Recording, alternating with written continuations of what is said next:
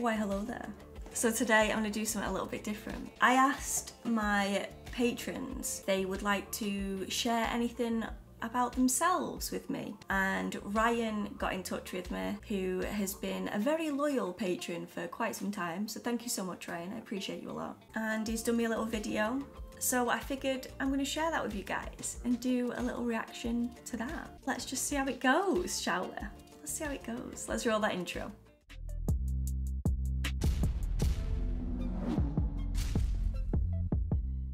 So here we are. Let's ignore the fact that Ryan spelt my name wrong at the very top.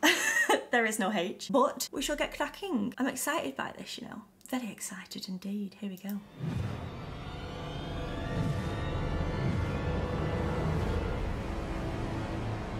Ryan Butler presents. This is fancy. Hey there, Dakara, or should I say, Joanna. My name is Ryan Hello. Butler, and a couple of months ago, you made a video for your Patreons. Hey, sweetheart. Cats. I love um, cats. we don't get to see your cat. As I was saying, you made a video for your Patreons just talking a little bit about yourself, who you are behind the camera, and whatnot. And I thought it'd be a neat idea if your Patreons could do the same for you. Very especially if they come from somewhere where you're not, which applies to my case. Hello from the States. Speaking of the States, I am from the state of Louisiana. It's this state right here. It's easily identified because it looks like a boot. Now, currently, I live in this state right here, and that's Texas. And Texas looks a lot oh, like Oh, you moved next door. Texas. One thing you may not know about me is that I actually used to be a YouTuber. I never had your following or anything like that, but I was getting pretty good at it. But the main problem was nice. my gig was kind of reviewing movies, reviewing trailers or whatnot. And the problem with that was I was working full time. So when a trailer would drop at 9 that. o'clock in the morning, there's no way I could make a video until 5 o'clock at night. And probably by 9 o'clock at night, when I'm done with editing, I'm sure you know all about that, there's already indeed. 100 reviews out on YouTube. And just what's the point then? And you get lost. So you get I lost just in the kind of system. hung that up. Now, for a while, I actually did think about doing reaction videos, but in this grand scheme of things, that's probably a horrible idea.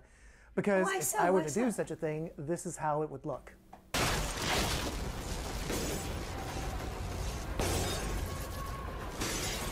Here's his entrance. I love your shirt, by the way. Cats.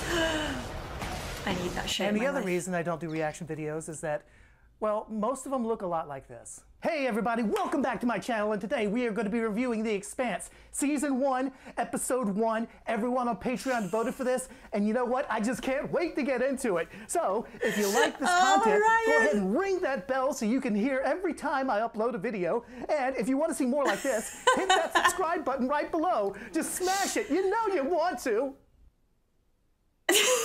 that is so goddamn exhausting. It's just I, I, I couldn't. I just Yeah. couldn't. I, Now, I, a couple I of days ago, I reached out to you because you knew I was going to be making this video, and I asked you if you had any specific questions for me, and you had two.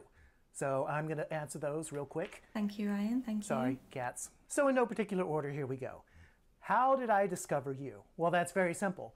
At the time, I was looking around for Walking Dead reactions because at the time, I was That's very much into The. Walking Dead. Unfortunately, I'm one of those people who kind of fell out of The Walking Dead. And I know you still like it and you still follow it and all that good stuff. So I'm not going to sit here and I'm not going to yuck your yum, you know. It's Thank you. everything's subjective and if you find something that you love, you know, just that's great. It's just that I no longer like that thing. Yeah, I get that. I sorry. get it. No, it's all good. But that's how I found it. Now, the second thing you asked me is how did I discover Supernatural? And that's a very easy story. Well, kind of. It goes down a path. You'll see. Uh, I okay, I'm was waiting. around when Supernatural came out, but I didn't watch it because it was on the CW network. Um, at least it here is here in the States. And CW networks, uh, to some extent now, but especially then, were notorious for just having pretty people on and the content of the show not having much meat to it. So Okay, I understand I really didn't give it a chance. Now, in 2009, I went on a deployment uh, for seven months. I went to a lot of neat countries, you know, and all that good stuff, like Spain. I learned to speak Spanish. And by Spanish, I mean una cerveza, por favor. Gracias. but while I was on the ship, there was a Marine who had seasons one through two on his hard drive. And that's, that's kind of the thing you do on deployment. Everybody swaps music, everybody swaps Love that. movies, everybody swaps t- seasons of TV shows and all that good stuff. And because you need something to do. Would you quit chewing on that? so, like I said, I ended up getting like season one and season two of Supernatural, and I still didn't watch it. I only started getting into Supernatural when I was working for a defense contractor called L3 Communications, which is now L3 Harris. Uh, they change names every couple of years for reasons I just don't know. Anyway, Supernatural was in syndication at that point, and I was working some very odd hours. I was working 12 hours on Friday, Saturday, and Sunday. And so basically, Monday, Tuesday, Wednesday, and Thursday, I had off. And with Supernatural being in syndication, I would catch some episodes here and there, and they would go in order. So I started to get to know the characters, and once I started to get to know the characters, I started to get an idea of the uh, construct of the show. One of the things I do like about the show is that it actually has something in common with Doctor Who, whereas you can have a new Doctor. It's the same character, but you're going to get a completely different performance, which just adds another layer to it. Yeah. And uh, Supernatural has that built in there as well, just Hundred with a, percent, hundred a percent. different world building system. Yeah, I get that. I thought that was kind of neat. There, there's a lot of things uh, interesting to the show that separate it from your normal CW show. I thought the first season suffered from what a lot of shows suffer from. It was basically trying to find its legs. It wanted to find out what it was. And all got to start it did. haven't they? But usually shows struggle through their first season. Supernatural certainly did that. And each season kept getting better and better until we lost Kripke, and then we had season six.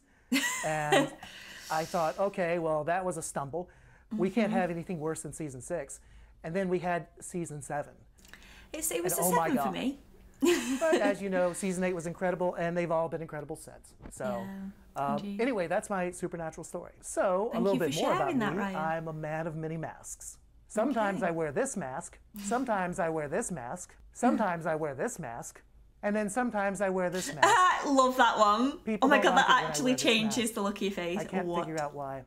So you've been hearing me talk to my cats. Yes, it's true. I have cats. I know you're a cat lover, so I am a cat I lover. to introduce you to my guys. This is Piglet Yes! New. I got them at the Rockwall Animal Shelter when they were eight weeks old, and uh, it was one of the best decisions I ever made.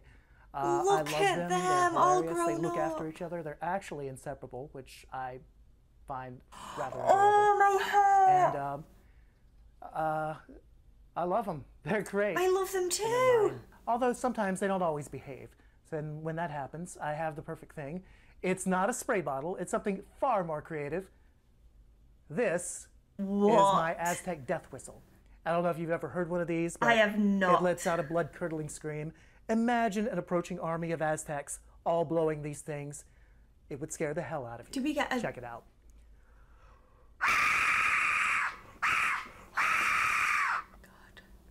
They love it. And speaking of reviewing movies, I thought I would go ahead while I'm here and uh, share some movies with you. That's something I think you would enjoy. Okay. Uh, this is my first pick right here. I mean, I'm This enjoying all of this Won't You Be. My Neighbor? It is a documentary about Fred Rogers. Now, everybody in the States knows who Mr. Rogers is. Uh, not necessarily in the UK. But if you don't, it doesn't matter. This is a very uplifting documentary. Uh, it's something that I think we all need because we really haven't, we really have been living upside down, haven't we? And I don't think, you know, any of us has felt normal since, I don't know, 2016 Yeah. random number. My second pick for you is a little weird. This is Batman underneath the red hood. Now, I know you're kind of a nerd, but I don't know if Batman is your thing. The I only reason I picked no. this one out is because out of the animation Under that the DC Red does, Hood. This is one of the better ones. But the main reason I picked this out is that Jensen Ackles voices the Red Hood. I so I know you're about that. see. The third movie I wanted to recommend to you is actually Molly's Game. This is based on the true life of Molly Brown, and um, it's an incredible movie. It's the directorial debut of Aaron Sorkin, uh, who most people know as a screenwriter, and they know him as a screenwriter because he's a damn good screenwriter. The dialogue in this is absolutely incredible. It also features Molly a star-studded cast: Jessica Chastain, Kevin Costner, and the UK's own national treasure, Idris Elba. You can't beat that. Now, there are other things I could tell you about myself, like the fact that I play bass guitar. I like to Nice, cook, nice. especially Cajun Creole food. Uh, I collect rare minerals because my father was a soil scientist and he was always bringing home interesting rocks. So geology became a hobby of mine, but it's kind of boring, isn't it? So I don't think, think I'm going to so. end the video here. So with that being said, I'm going to steal your signature move. Oh, Ryan! I got your move. Ryan! There's Ryan's links there on my screen, guys. Please go check him out. Oh my days. I thoroughly enjoyed that. Like, Ryan, thank you so much for taking the time to film it, to edit it, to send it to me. I really do appreciate it. And I hope you're happy with me reacting to this. I won't obviously message you before posting the video, don't worry. But I appreciate you doing that. It honestly means a lot. And guys, if any of you are watching this video right now and thinking, you know, I'd love to do that, do it. Record it, edit it, send it my way. I'll watch it. We can do this as like a series if you guys enjoy it. Like, I love this kind of thing. I love getting to know you guys a little bit better and allowing you to add some of your creativity in there as well. Like Ryan with his humour and his edits there was fantastic. I loved your intro as well, by the way, Ryan. That was really cool. It's nice being on the other end as well, because obviously you watch me a lot of the time, so it's nice that I can get to watch you. And uh, yeah, just get to know you. It's so much fun. I enjoyed it a lot. I hope you enjoyed watching it. Let me know in the comments below what you thought. And yeah, give Ryan some love for, for taking the time to do that. I hope to see you again soon for another video. Thanks guys. Bye.